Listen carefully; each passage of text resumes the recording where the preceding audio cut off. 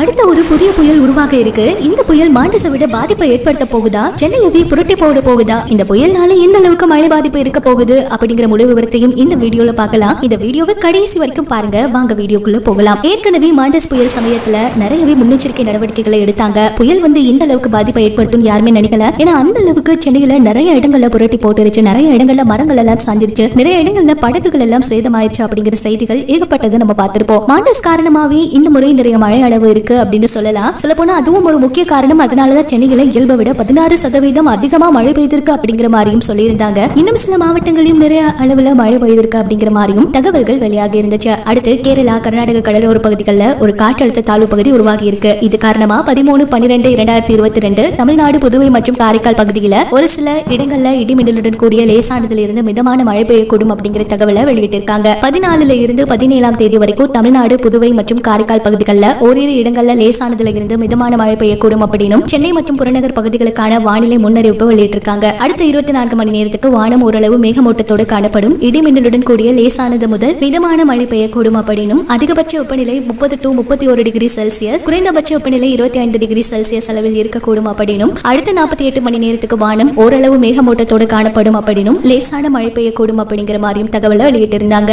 இருந்தாலும் கடந்த இருபத்தி நான்கு மணி நேரத்துல எவ்வளவு மழை பதிவாகிருக்கு அப்படின்னா கிருஷ்ணகிரி தஞ்சாவூர் புலிப்பட்டி மதுரை காஞ்சிபுரம் இங்கெல்லாம் ஒன்பது சென்டிமீட்டர் அளவுக்கு மழை பதிவாகி இருக்கு அப்படிங்கிற மாதிரி தகவல்கள் வெளியாகி இருந்துச்சு. நிறைய இடங்கள்ல இப்ப மறுபடியும் புதிய புயல் உருவாக இருக்கு அப்படிங்கிற மாதிரி செய்திகள் போயிட்டு இருக்கு. அதுவும் மொக்கா புயல் உருவாக இருக்கு. அது மட்டும் இல்லாம கேரள கர்நாடக கடலோர பகுதிகளில் காற்றழுத்த தாழ்வு பகுதி தொடரும். இதனால வந்து மழை வந்து தொடர வாய்ப்பு இருக்கு அப்படிங்கிற செய்திகள் எல்லாம் வெளியாகி இருக்கு. ஆனா இது மாண்டஸை விட பாதிப்பை ஏற்படுத்துமான்னு பார்த்தா அப்படியெல்லாம் எந்த ஒரு செய்திகளும் இதுவரைக்கும் வெளியிடல. இன்னும் ஐந்து நாட்களுக்கு மட்டும்தான் வந்து இந்த மாதிரி பாதிப்பு இருக்கும். அதாவது தொடர்ந்து லேசான மழை தான் இருக்கும். புயல் பாதிப்பெல்லாம் இல்ல. யாரும் அச்சப்பட வேண்டாம் அப்படிங்கிற தகவலை தான் வெளியிட்டிருக்காங்க. இது பற்றி உங்களுடைய கருத்துக்களை பகிர்ந்துக்கங்க. மேலும் பல தகவலை தெரிஞ்சுக்க நம்ம சேனல் கூட இணைச்சிருங்க